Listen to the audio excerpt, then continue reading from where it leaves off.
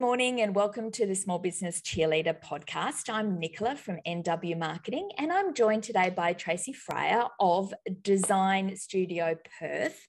Um, she's a graphic designer and brand strategist, and we're going to talk today about all things branding for small business. How are you today? Hi, Nikola. How are you going? Hey, good, good. I'm so glad to have you on because we're going to talk and we're going to get deep on branding.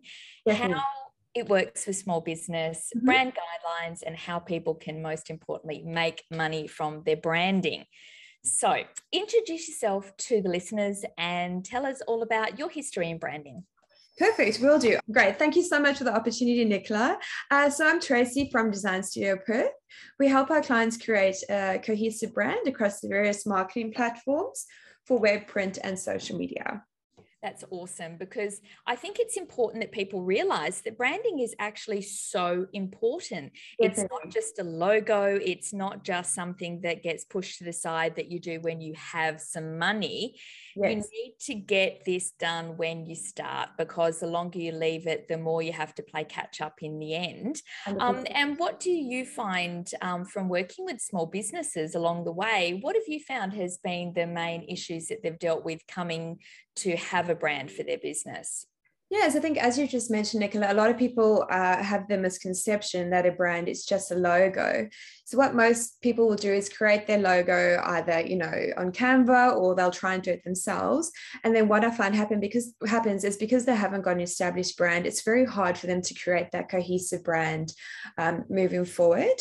Uh, so yeah, what I find is that we have to then, you know, we actually try to do like a complete rebrand, redesigning the logo, creating those colors, those fonts, and then working with their marketing plan, um, which is establish their ideal target audience and their brand vision and message as well yeah it's amazing. So so where do they start? So if i'm a small business and i've just either started or i'm looking to to jazz it up i'm looking to actually have something that cuts through where do i start with creating a brand yeah, perfect. So, as I mentioned, most people seem to think that a logo is your starting point. But I think if you rewind completely, I believe that the first place that you need to start is with your marketing plan. So this might even be before you have your business name, because it is pretty hard coming up with a business name sometimes as well. So someone in marketing like yourself would sit down with you to figure out your um, your business name, what your marketing um, strategy is, so your visual communication, the messages that you want to have with your branding, and then that would then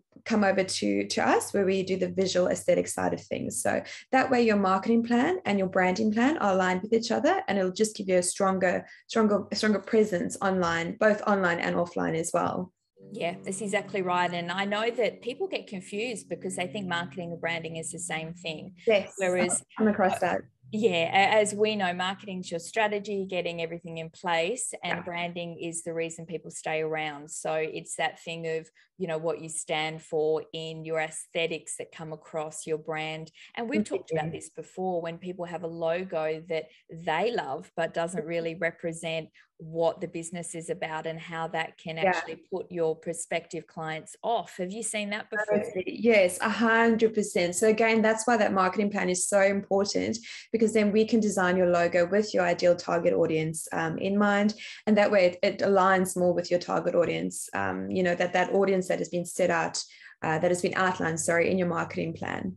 Yeah, because I find that people uh, they love a color or they love um, a font, um, but if your audience it's not something that resonates with them, you're going to be spending a lot of money on something that is not going to be doing the work for you because your branding is is what is going to keep people around because of that reason that it actually they can identify with it. You know yeah. things like Apple, um, you know, are that um, the staple that most people come back to in their branding of how they perceive themselves out in their advertising with their marketing from their branding because mm-hmm. it talks to a specific ideal target market. And people forget that it's not just some pretty thing you put on your website, it has to actually follow through. So, yes what are brand guidelines? Because we hear this all the time, and people are told they should have brand guidelines, they should have things set up.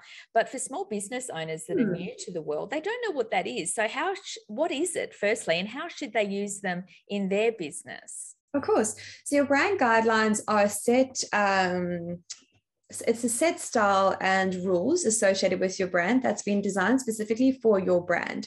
So what will happen is something I wanted to mention as well is that I think a lot of business owners design their logo and their branding you know to their liking but it's not about us it's about our ideal ideal audience and that's who you want to have in mind when you're creating your branding. So your brand guidelines will be uh, formulated around your your brand vision and your mission as well as your logo. It's a clearly defined sorry defined set of colors fonts uh, photography uh, style perhaps. Even your social media or your email marketing might go in there as well. So that way anyone who's anyone who's working with your brand will know exactly what what's font style what color, what um, photography style goes with your brand. So that way, no matter what marketing platform you're working on, there'll be a cohesive brand. Yeah. Yeah, that's right. And that's why brand photography does play a big part in that as well mm-hmm. and has really come to the fore. I think in the last couple of years, I've noticed that uh, you can really tell um, or have a feeling about a brand from their photography. And a lot of the visionaries, the owners of the business, are having to come from behind the scenes yes. to the forefront because we're all about authenticity now. Yes. We need to see who it is we're dealing with and to make that instant decision of whether we can resonate with them or not. And so branding now is more than even just your logo and your colors. It's about getting you out there. And I oh, think people forget that, don't they? They think that it's something that they can hide behind. But are you finding that that's happening a lot more with our clients you're seeing as well? They're having to come get out of their comfort zone? Definitely, myself included. I mean, you know, we think we can hide behind our logo and our brand colors and, you know, our portfolio work uh, for so long, but you actually have to come out from behind a logo and uh, really let people, you know, get to know who you are and be truly authentic and, you know, um, show that point of difference and what makes you you.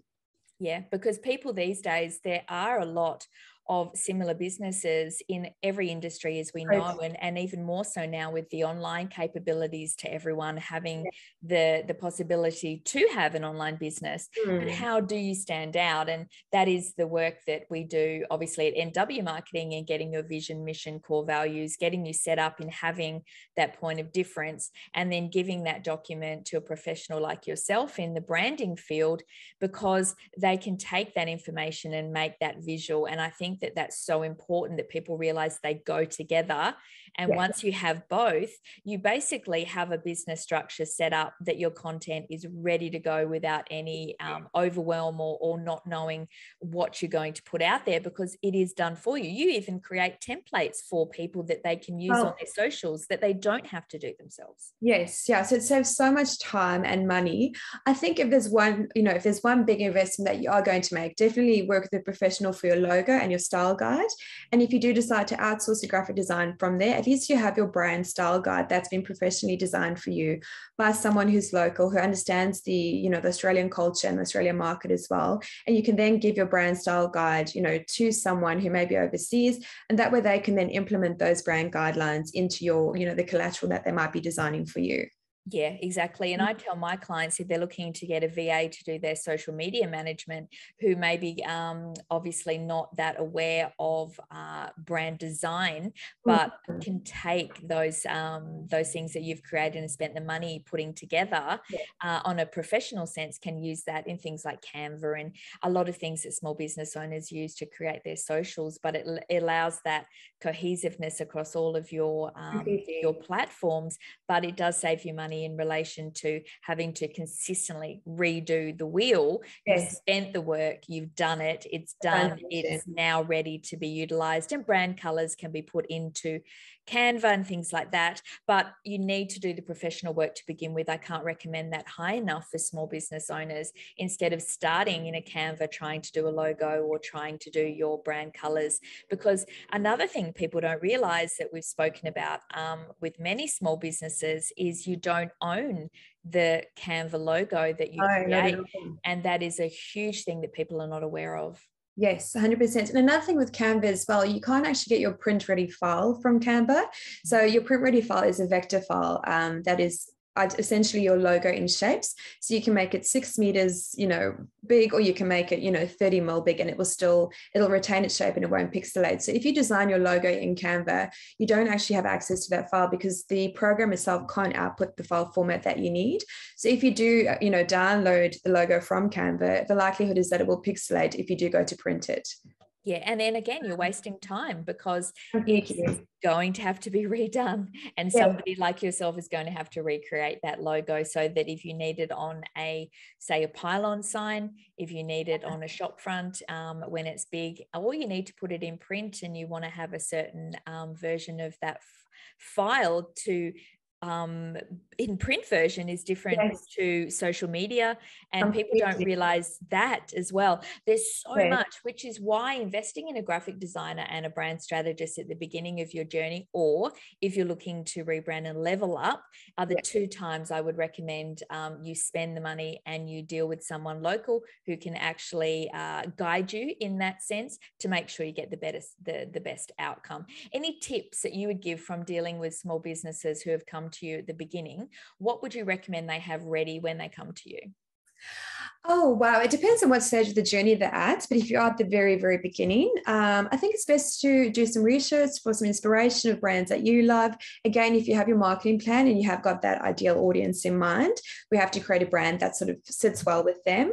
Um, but I'd also recommend, and I think like you said, Nikola, you know, working with a professional, making that initial upfront investment um, to get your entire logo file suite. So as you mentioned as well, there's different file formats for digital platform, for printing, your Pantone colors. So you can save yourself so much time and money um, by having your logo and your brand style guide set up properly. Uh, and I mean, that not many people are aware that you're like, say, for example, if you have a brand blue, that color has about four different codes, you know, depending on if you're printing it or if you're going to be using it on Canva or on your website. So your brand style guide will actually break that down for you. Um, and I think people forget, and I've seen it from doing old school press advertising yeah. many, many years ago, um, is it shows up different in press. yes. So you can be a get a rude shock when you see your press ad appearing um, yes. um, and you haven't done that work. So people need to realize it's true and the work done. And another one I love to inform people of that they forget sometimes, it's so important, is the reverse version of your logo yes. because you don't know where it's going. And if you don't have a reversed out logo that you can use on multiple platforms, especially yeah. if you're doing uh, things like aprons, if you're a restaurant and you want your logo or you want it somewhere else, you've mm. got to think about ahead, think ahead, and how may you be using that logo going forward and um, all the different options. I know myself, my graphic designer, when we did ours years ago, I have a folder that has multitudes yes. in there, some I've never heard of. Yeah. And, um, but it's just in case I ever need it. And that folder sits there with all my brand style guide, like you said, my fonts, yes. my colors, um, everything I need. I need. But it was the best investment I ever made. I use it every day. And if I've I've had to do banners, I've had to do things, and I know that I've got every folder there bang. And I've dealt with people before that only I think I spoke to you about this before only had a PDF for their logo. Yes and you have to rename the whole thing. So if you you know that's because they now they had a sign done you know if they started a, um, a retail store they got a sign done and, and and obviously a designer did it but they didn't ask for the folders all done up. So all they had was a pdf that they could now no longer use. Yeah. So i think that's important. But the most important thing how does branding help you make money, Tracy? Tell us because every small business owner is going to spend this money investing in their brand. How is it going to make the money? How are they going to get the return on this investment for them? Yeah, definitely. So branding branding helps you make money by, you know, you have to constantly show up you have to be consistent like anything in life. So by your audience in a consistent brand whether it's on you know instagram or facebook or whether you're networking in person like every single aspect of what you do and it's not just you know the digital side of things. As i mentioned you know what you might wear or how you might carry yourself is all part of your brand. So people perceive you you know in your brand um, across all those different different platforms. So it's so important to have a cohesive brand that aligns with your ideal audience and that way they'll feel more connected with you, they'll get to know, like, and trust you, and which would essentially result in more sales. Yeah, and it's that thing, isn't it? If you have a high lux brand, yes. obviously your logo has to reflect that. If you're more family friendly, or if you know that's why things you put on your logo have to talk to your client not to you. Yeah. and it has to have you know are you um, you know sharp and crisp and very clear and clean in your lines or are you more open and friendly and um, different vibes? And those things will come across in everything you do. Even those templates you put on social media uh, will need to have that same look. And i think that's where a brand strategist is the most important um, investment you can make when building a business, as opposed to your marketing specialist, yeah. obviously, who will give you that information to take to your brand specialist. Those two together. yeah, exactly, exactly. Yeah. Now, is there any final tips that you can think for small businesses, any part of the journey that from working with them you found hmm. that would would help out um, people listening today? Yeah, apart from what I've already mentioned, I definitely think, you know, Canva is such a strong uh, platform, you know, and, and I understand as a business owner, you know, sometimes we feel like we're bleeding money. So, of all the things, make use of your Canva brand kit. You know, um, you can either have your graphic designer set it up for you, like you'll have all your fonts, your colors, your logos, but at least that way, if that's all set up, if you are creating content and your visuals yourself, if you don't have the templates, you can at least create things that have all your brand colors, your fonts, and your logos as well. Um, and I think another important thing to mention is to not be cliched. I think there's a lot of pink around at the moment, and people seem to think because they've got a, a feminine uh, audience that they have to go with pink. Or had someone tell me the other day that they need to stand out the most, so they need to be bright yellow. But there's so many different ways that we can stand out. You know, from a, a visual uh, brand photography, uh, you know, the, the messages that we convey both verbally and non-verbally. It's not just about being the brightest, or being cliched as to everything that's happening. So I think yeah, to truly just be in your own authenticity and do you know what feels right with you and your audience is so important yeah i love that because we can get carried away with the scroll and think that we totally. need to to be whoever else is in our target market and is performing well, we need to be that. And I think that the only way you can truly stand out is by being authentic to you, which I know is hard when you're starting out a business. But if you can sometimes stop the scroll and just really get dive deep into why you do what you do and how you reflect that in your visuals um, i think that'll be much better in the long run you won't get bored of what it looks like or or just become one of the the multiple you're right i think there is a lot of um, that around at the moment mm-hmm. and i mm-hmm. think that that is just overwhelm and, and, people jumping into canva and, and finding what they can find and just yes. hoping to uh, become one of the many. And I think the more you see those um, visuals standing out of brand photography as part of that overall thing, mm. that was a, a, great change and shift. And now video, of course, being the next mm. shift um, in how to show up with your brand. And I think that that again can only come from doing the work in everything else um, to then know how you should show up when you yeah, all adds up totally. Yeah, yeah all work yeah. together. Because uh, people forget that it is um, a multi-layered and that's where the overwhelm comes in. So the more clarity you have in those steps the more likely you are to be able to show up uh, without that overwhelm or be scared of showing up not yeah. knowing how you should be showing up. And i think that's where a lot of people, like all of us, uh, when we have a camera in our face, get a little bit overwhelmed on oh, what, you know, what should I be saying? Is it is it in line with my brand? Am I being too woke? Am I being not woke enough? Is my what does my ideal client want? Uh, yeah. So when you have a document and you have um, the brand guide to you know to follow that on, it, it just gives you clarity that is unlike anything else. I can't recommend it enough. Yeah, um, yeah, and a professional is the way is the way to get that. Yeah. So I want people to get brands strategized. So how can they find you? How can they find out more? Um, are there, um, you know, freebies you've got? Is there ways for you to get um, in touch? How can they get in touch with you and find out how to get this ball rolling? Yeah, perfect. So the best way is probably through Instagram or our website. Uh, we do currently have a, um, we've got nine Canva templates, a free download that automatically goes into your Canva account. You can change the colors and the fonts to suit your style and then create content from there. Uh, we do have an offer free um, design strategy call for 30 minutes. So you can either find that link on our website or otherwise through our Instagram in our bio as well. Oh, well, then there's no excuse. Look at that. You got your yeah. free Canva templates already, and you can have a free strategy session to get your head clear. I mean, that you couldn't get any. Totally. You know, there is no excuse. this is the small business cheerleader yelling at people. There is no excuse. Don't tell me you can't get your brand together because there is ways. You're just not getting over your fear of what you can do. So if you don't know how to use Canva, there's many tutorials online and Canva themselves have tutorials. It is very easy to use. And as you said, downloads from yourself, you can go straight into your Canva files and then you can access them. It's easy as, but do the work first so you know what it is you're creating before you start getting lost in the rabbit hole that is Canva.